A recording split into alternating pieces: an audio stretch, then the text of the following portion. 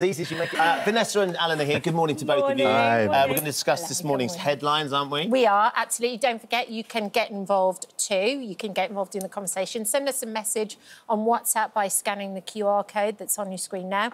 Or you can get in touch using X, Facebook, or our This Morning app. You must be 18 or. Uh, Alan, let's start with the smoking ban, of course, because uh, the vote happened. Uh, there's a plan to ban anybody born after 2009 from buying cigarettes, and Rishi Sunak got it through. got it through, despite some of his own MPs. I mean, there was nearly 50% of Conservative MPs either abstained or, 50. or voted against. Almost 50%. Yep. Uh, 163 e- either abstained or voted against. But it was the right thing to do. And it's the timing that's important. I was health secretary when we introduced the smoking ban in clubs and pubs and all of that. Yep. And we were of resistance to that at expecting a time, though, right? we We're expecting a tougher ride than we had. But the point is, the public supported it because it was the right timing. They'd been educated over the years to see the harm that Yes. tobacco was doing. They wanted the government to do something uh, on public health, and so it worked. And I think this will work as well. I think this is this is the right timing.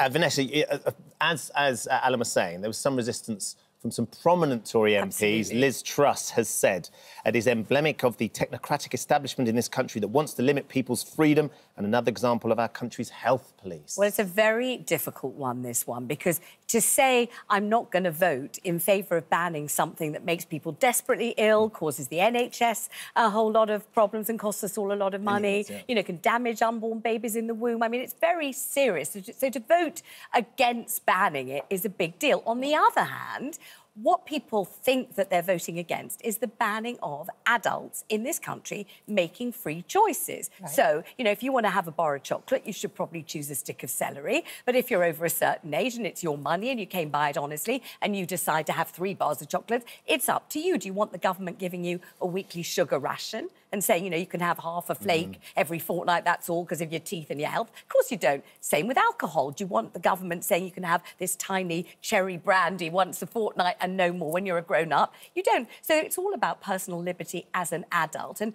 part of our liberty has been choosing to smoke. But it's so complicated because, of course, as soon as you become addicted, there's no choice involved at all. Yeah. No. So the idea that voting against a smoking ban is voting for liberty and the right to choose to be whatever you want to be as an adult, you know, a drunk, a degenerate, fat, toothless. There's no need you to know, be personal about it.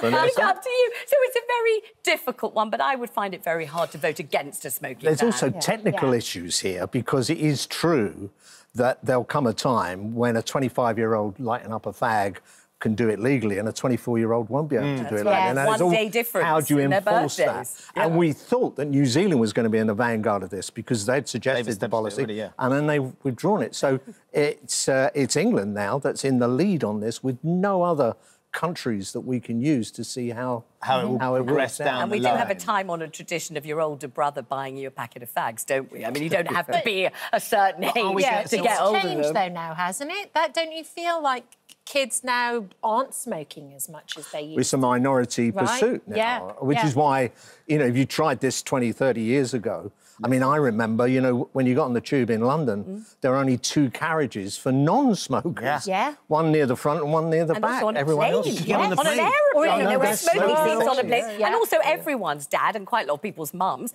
used to light up in the car Yeah. with all the windows closed and the kids in the back of the car. No one, no one, you know, seemed to bat an eyelid at it, not Yeah. at all. But now my That's kids changed. say um, that when they see people smoking, they feel as if they didn't get the memo. Right. So it doesn't look Isn't it? cool. Yeah. It looks Yes. like they just didn't realise it was going to really hurt them, so they I mean, shouldn't be vaping's the it. next thing, isn't it? That Yeah. we still don't know long term what the impact of vaping is. But as you were saying, it's, it's younger generation aren't necessarily smoking, but they are picking up vaping, which is so much more accessible and easy to get their hands on. Mm. And whether that's somewhere down the line, that's going to have an impact because we just don't have the studies, Alan, because it's such a sort of more. uh, Well, but what we modern- do know, I mean, this is called the smoking and vaping bill. I'm not sure what they're going to do on vaping, but Yeah. Oh, we I do know that vaping's helped a lot of people to stop smoking. Of course. Yeah. And for all the reasons Vanessa said, you know, we know now that the result of smoking, there's no question about it. The science is very clear. Well, kills It's 80,000 people a year. Yeah. Costs the NHS and the economy an estimated 17 billion pounds Mm. annually. But we also know that they're allowed to target vapes at very young people. So they've got sweet little flavours, peach blossom, Yes. chewing gum, Very bubble gum, Yeah. pretty colours. You know, they look attractive in the way that they haven't been allowed to advertise cigarettes for years and years now. Decades they haven't been able to do that. So, you know, next step. Yeah. Um, talking of children, actually, they, uh, we're talking today about smacking children must be fully outlawed in England and in Northern Ireland. Uh, paediatricians are saying it has a massive effect on children. Well, the NSPCC has been saying this for years and years. The NSPCC has been saying it would like to see all smacking banned. At the moment, in England, you're allowed to smack your children whenever you like, as long as you don't leave a mark. So you're not allowed to hit them hard enough to leave a bruise, but you are allowed to smack. Um, and the NSPCC has for years been saying this is not a good thing because it sets up a cycle of violence. You know, Yes. if you're saying do not hit your sister, boom. Yeah. What, what is the message that you're that Yes. you're saying? And also, if you say do not, you know, take those chocolates, bam, you're saying this is how I punish you. This is violence. I'm your parent. It's acceptable. So you're you're sending a message that paediatricians are now saying is unacceptable. That children who've been smacked will Mm-hmm. go on to smack and will be, you know, in, in various different ways troubled as adults. To me, that makes perfect sense. Yes. It's been outlawed in Wales since March 2022, Scotland since November 2020, Alan. So we'd just be following, or England and Northern Ireland would just be following. Fine, what's already yeah. In, in England, the 2004 legislation had this get out clause of reasonable punishment. That's the two words that are used. Mm. So is that a the reasonable mark? punishment? Right. It's difficult to draw the line. Yeah. I mean, we talk about smacking. That's the nice euphemism. I mean, you're actually striking a child. Yeah. You're violent to a child. Smacking. I mean, some of this is absolutely, you know, uh, it's, it's violence in every sense of the word.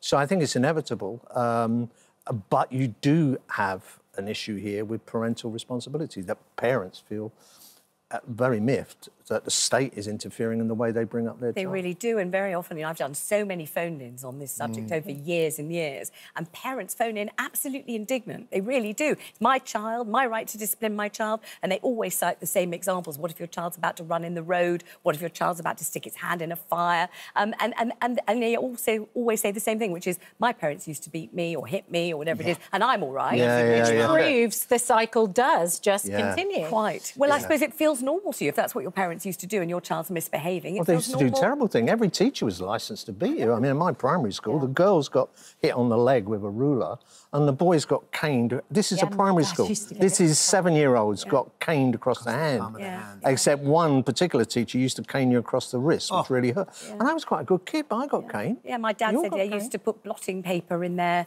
down their trousers to try to Just sort of and ease numb the, the ease pain. the Yeah. blow. Yeah, because Yeah, it yeah. really, really hurt. Uh, this report warns that children that experience physical punishment are nearly three times as likely to develop poorer mental health and more than twice as likely to experience serious physical assault and abuse. I mean, when the report points to the, the impact that it has being that clear, it sort of seems like it should. And you can't assault an adult in the same way that you're allowed legally to assault a child. That's that's the kind of argument that the paediatrician. Uh, let's talk about this High Court ruling that came about yesterday. Vanessa, the Michaela Community School was uh, taken to the High Court over a group of Muslim pupil- pupils who wanted the right to be able to pray uh, at the school. It's a non denominational school. They had rules about the fact that they didn't want to have any sort of secular teaching, no uh, prayer at all. These children wanted to be able to pray at the school. They took the school to the High Court. The High Court judge has come down in line with the school. Yes, and, and this is a, a most extraordinary school, mm. a high attaining, unbelievably disciplined, really high achieving school that is desperately prized by parents who are absolutely you know, aching, yearning to get their children into that school. And the headmistress is called Katharine Birbalsingh, and she's a, mm-hmm. a visionary of sorts. You know, she's an unusual person. She has very, very firm thoughts about her particular school and how it should go. And she doesn't want kind of, I would put it this way, splinter groups of pupils mm-hmm. suddenly deciding to pray as they were doing in the playground, and some of them making other children feel that they should be joining in, and why were they not? And just kind of separatism at school. You're a school, you're cohesive, you're a unit. That's why you Pray- wear a Exactly. uniform. Pray in, Yeah. in assembly or pray at home or pray at the weekends or when you get home, but don't be splintering off to pray at school. And and the High Court have upheld uh, the case. And the- One of the things that people are very upset about is is, is public money being used Yeah. to fight the school, and it might have cost. I think they're thinking, is it 150,000 pounds of all our Alan, they, uh, but what she has said, this head teacher, who is we've interviewed many times, and Yeah. she's sort of held up as a sort of a, a sort of a a- Beacon. a, beacon Yeah. in terms of school discipline. If parents don't like what Michaela is, they don't need to send their children to us. These are these are parents and children that went to the school knowing that they had these rules surrounding prayer. I'm a big admirer of Birbalsingh. Uh, you know, there is no legal requirement to have a religious uh, ceremony at school. There's no legal requirement to to designate a place for worship in a school. Never has been. So this school is a secular school. You know what you're getting when you put your children into that school. And I'm absolutely delighted that she's that the court has upheld that. They've got 21 days to appeal, so they may appeal the court decision. But so far, they've uh, the High Court judge has gone with the Michaela Community School, which is good news for the head teacher. Uh, thank you for the time being, guys. Don't go anywhere. Vanessa and Alan are staying with us. We've got more top stories to discuss after the break, including new music from Lennon and McCartney. They're back together, sort of. sort of. Sort of. And Annabel Croft's taking us on a tour of stunning Yorkshire in her very own camper Vanavel. We'll see you after the break.